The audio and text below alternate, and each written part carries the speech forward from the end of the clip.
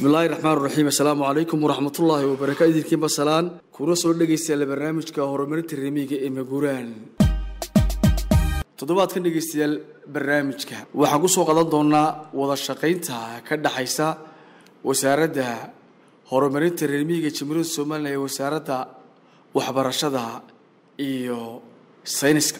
Barnaamijkan waxaa ku martay agaasimaha guud ee wasaaradda horumarinta reer miyiga jamhuuriyadda somalilan mudane mahad maxamed saciid ugu horeyn mudane agaasime bahwadaag shaqo ayay wasaaraddu horumarinta reer miyigu la leedahay.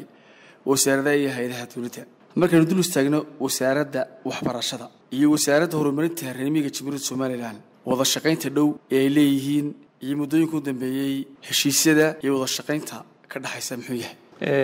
Bismillahi raxmaan raxiim ilaah waa mahad iskale inagu soo toosay inagu toosiyey inagoo caafimaad qabna qarankeenna u adeegayna inagoo caafimaad qabna oo niyadsan saleebaan saad ka warqabto wasaaraddani iyadoo mandatekeedu sheegayo inay wasaaraddu xidhiidhiso howlaha ama mashaariicda ay fuliyeen hay'adaha dawliga iyo kuwaan dawliga ahayn sannadkii labada labaatanna ay samaysay dalladda bahwadaagta shaqe ee wasaaradda horumarinta reer miyiga ayna xidhiidhinayso hay'adaha iyo wasaaradaha haya shaqada ee dadka reer miyiga ah waxay sanadkan xoogga saartay dalladda bahwadaagta shaqo ee kala duwan ee hay'adaha kala duwan ee dowladda ah inay iskaashi wada shaqayneyd oo xooggan yeeshaan si dadkii reer guraaga ahaa loo gaadhsiiyo ama adeegoodii asaasiga ahaa loo helaan. Marka wasaaradda waxbarashada waxay ka mid tahay dalladda bahwadaagta shaqo ee wasaaradda horumarinta remigo sannadkii aasaastay waana wasaarad halbowlo u ah bulshada reer guuraaga ah bulshada reer miyiga. Oo aqoontoodii iyo waxbarashadoodiiba haysa. Waan ugu mahadnaqayaa wasaaradda waxbarashada iyo wasaaradda caafimaadkuba waa wasaaradaha markay noqoto maamul fidinta ama jimhuriyadda somalilan dhammaan ka howlgala oo wasaarado iyo hay'ado kaloo dowlad meel aanay gaadhinba iyagu way gaadheen oo adeega waxbarashada iyo caafimaadku uu ka hirgalay dhammaan jamhuuriyadda somalilan uga wada gaadhay waxay iska jiraan dee baahiyaad kale oo oo tabasho aan weli laba dhammaystirin taana waxaan wasaaradda horumarinta remiga waxaanu jecel in sanadaha soo socda oo sanadkani koob ka yahaba in la dhoo dhammaystiro dadka reer guuraaga. Marka labada wasaaradood waxay iska kaashanayeen ama ay ka wada shaqaynayaan waxa weeye waa waxbarashadii dadka reer guuraaga inay ka wada shaqeeyaan. Waxbarashadaasi sida dadka ku nool magaalooyinka kale ee ku yaalla aan miyiga ahaynba ayay xuquuq la siman u leeyihiin inay waxbarashadii helaan dadka reer guuraaga ama dadka reer miyiga ay ku nool miyiga. Hadday noqoto waxbarashada dugsiyada hoose dhexe iyo hadday noqoto dugsiyada sare. Ilaa heer jaamacadeed iyo dugsiyada boardingkaaba. Marka wasaaradda wasaarad waxay ka wada shaqaynayaan in ay dadka reer guuraaga waxbarashadooda kor loo qaado ayna helaan deegaanaduna ku helaan waxbarashada. Ayay ka wada shaqaynayaan.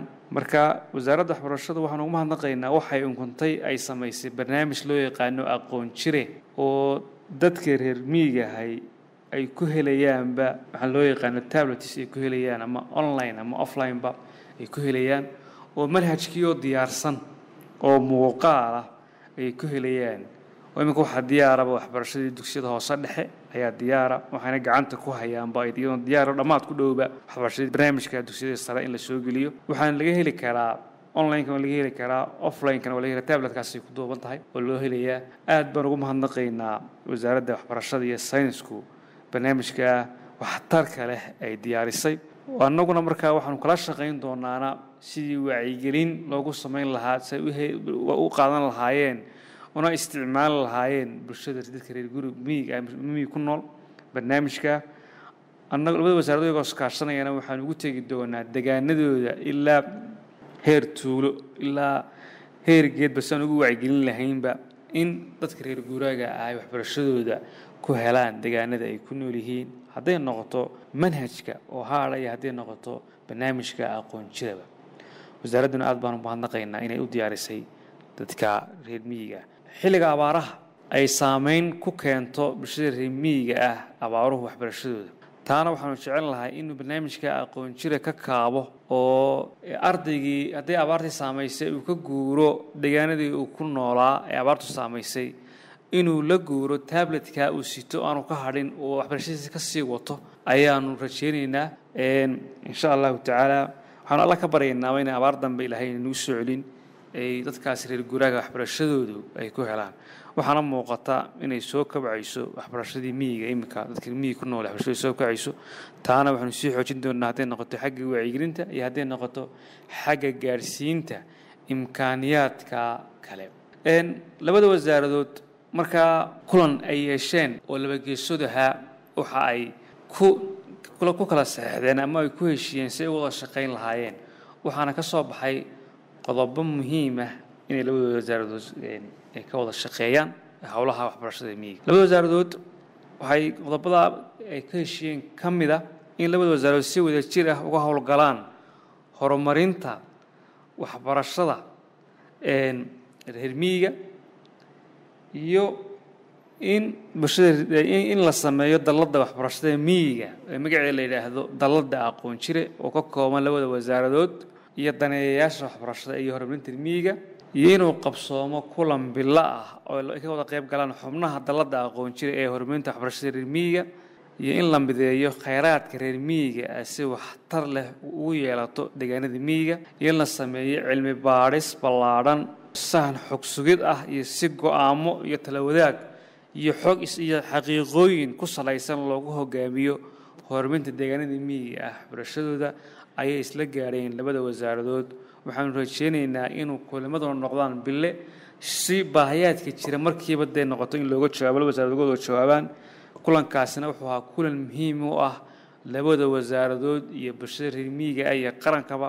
Waxaanu rajeynaynaa inuu kulankaasina si socdo howlgallo ama howlo midho dhalnana ka soo baxaan insha allahu tacaala. Aad baa mahadsantiin waayahay mudan agaasime waad mahadsan tahay dabcan waxaad sheegtay howlo lagu farxo iyo sidii markaasi bulshada reer guuraha loo kaabi lahaa dhanka aqoonta. Barnaamijkan aqoon jire ee loo bixiyey ee kaabi doona aqoonta bulshada dadka reer guuraagay miisaan intee leeg ayuu ugu fadhiyaa. Bulshada reer guuraaga wasaaradda horumarinta reermiyiga muxuuse qayb ka qaadan doonaa kaalinta waxbarashada dadka reer guuraaga sir hore la waajiyey barnaamijkani muhiimad gaara ayaabuu u leeyahay dadka reer guuraaga ah xilliga abaarta iyo xilligaan abaartaba ahayn.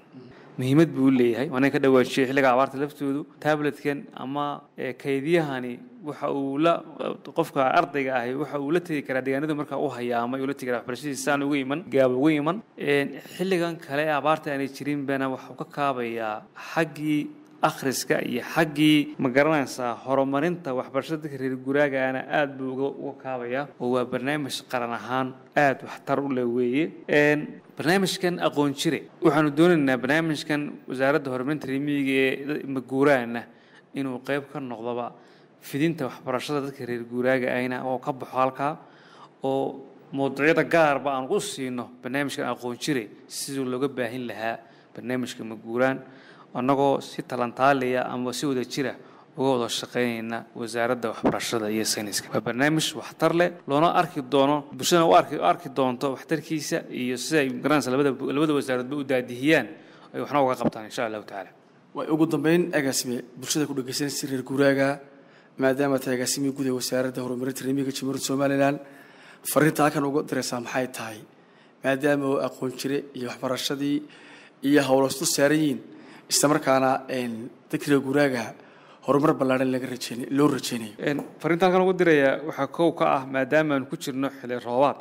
In waxaan fariinta ugu dirayaa waxa weeye inay ka fogaadaan goobaha biyomareenada jeexjeexyada ah ee biyomareennada ah bulshada reemiga ay ka fogaadaan. Qodobka labaadna waxa weeye si ay biyoqabatina u samaysan lahaayeen uga faa'iidaysan lahaayeen biyaha soconaya maadaama ay abaarayna magaranaysa isdabajoogaan soo marnay biyahana si aan uga faa'iidaysan lahayn inagoo kaashan idinkoo kaashanaya wasaaradaha dawliga ah ee arrinkan u xil saaran ayaan ku boorinayaa. Waxaan ku boorinayaana waxa weeye inay saadaasha hawada ee jira ee wacyigelinta la bixinayana ee reedooga ka baxaysa iyo tifida ka baxaysaan ay dhig u yeeshaan ay dhegaystaan in xoolodhaqata beeraleydina ay dalagii ka faa'iidaystaan dhibicda roobka ah ee samada ka imanaysa ilaahayna siiyeyna ay beerahooda uga faa'iideeyaan hadday noqoto dalagii beeraha iyo hadday noqotoba calafkii xoolahaba. Ayaguna beeralaasina ay ka faa'idaystaan baan ugu dirayaa aan ilaahayna u mahadnaqno oo ilaahayna isku xidhno oo ilaahayna marnoo barino in aadami kale ama hay'ad ha noqota mid kalena waxbay noo soo wadin ilahay inaan isku xidhno bulshada reer miyiga ah halkan fariin ugu dirayaa insha allahu tacaala waxaan rajeynaynaa gu iyo dayrba inuu ilaahay dhulkeena nimco noqonayo dhulkeenaana khayraad badan inoo yaalla hadday tahay bad iyo hadday tahay dhul dhulkeenaana dihin hadday dowladdu deegaanada miyigaana dee imanayso ay doonayso halkan shidaal iyo macdan iba laga baadhayaan ay noqotona la soo dhoweeyo waa buu khayraadkeenii dhulka inoogu beeray idinkuna qayb a ka noqotaan maadaama dhulkiinii ilahay khayraad ku beeray. Bulshada reer miyigaana waxaan farayaa laftoodana in xagga xeebaha markay noqotona ay bal xagga xeebtana bal falashadii muxuu ahaa muxuu ahaa dabashadii dabashadii kalluunka na ay ku fognaadaan oo xagga xeebaha lagu foofo lagu foofo oo khayraadka baddana bulshada reer miyiga ah ay aad uga faa'iidaystamaan halkan fariin uga diraya kaasi dhegeystayaal wuxuu agaasimaha guud wasaaradda horumarinta reer miyiga jamhuuriyadda somalilan mudane mahad maxamed siciid oo barnaamijka maguuraan marti ku ahaa. Intaasi dhegeysta ku soo gabageliya barnaamijkii maguuraan toddobaadkan waa farsamadii axmed ismaaciil daahir. Soo jeedintii soo diyaarinta leban hamid ku dhaafaya asalaamu calaykum waraxmatullaahi wabarakaatu